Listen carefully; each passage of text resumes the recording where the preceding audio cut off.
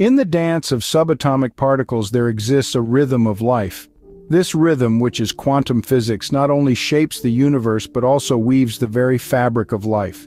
Quantum physics emerged from the ashes of classical physics at the dawn of the 20th century.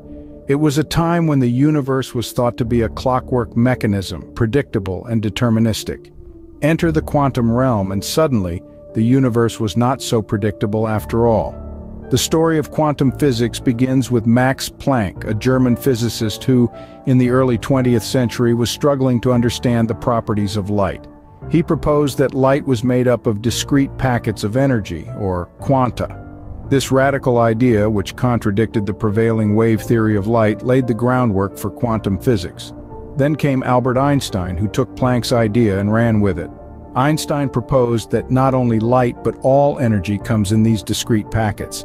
It was a revolutionary idea and it earned him the Nobel Prize in Physics in 1921. In the following years, quantum physics took a series of twists and turns, with the likes of Niels Bohr, Werner Heisenberg, and Erwin Schrödinger each contributing their own groundbreaking ideas. They introduced concepts like quantum superposition, where particles can be in multiple states at once, and quantum entanglement, where particles can influence each other instantaneously regardless of the distance between them. Quantum physics and life, it seems, are deeply entwined.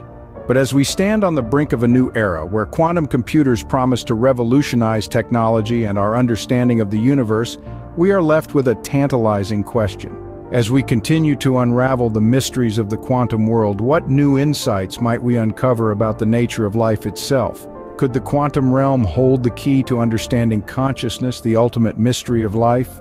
This question is the next frontier in our exploration of the universe, a journey that promises to be as exciting and unpredictable as the quantum world itself.